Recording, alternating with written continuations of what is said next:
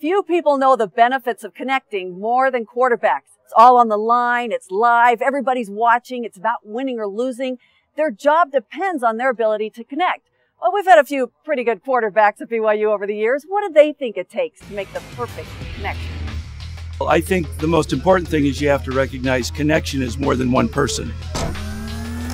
you've got to make sure that everybody is on the same page and everybody understands what the defense is doing. And when you understand what the defense is doing, then you can run your offense. It's knowing everything.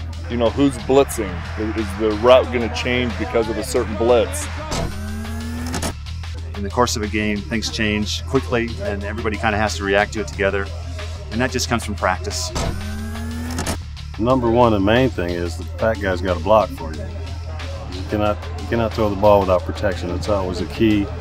Uh, that's the first thing that our offensive coordinator said here, first meeting every year. You know, we don't throw the football without the big guys up front. There is an element of respect or love or or something where you you understand the other person so well that you can speak to each other on the field. You can go out and work to your blue in the face, so to speak, and if you don't have the, the right plan, the, the, it's not going to work.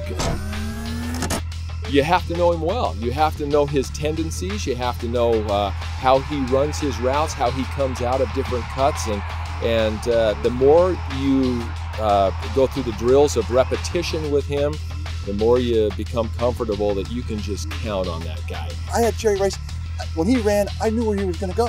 I could see where he was headed. I don't know what it was about.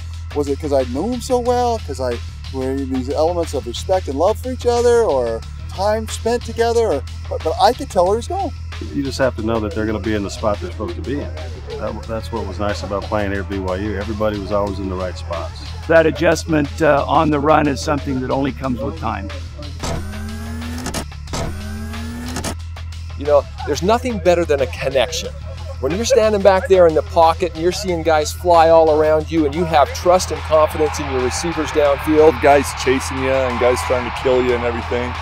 And you let that ball go and you know it's going in the right direction. You see it, they see it. Uh, the quarterback actually throws the ball before the receiver even comes out of his break. That receiver catches it and the football stadium goes absolutely crazy. Oh, it's unbelievable. It's like sinking an 18 foot putt.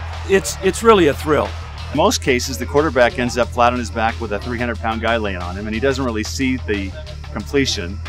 Uh, but you hear the roar of the crowd. That is a connection like no other connection.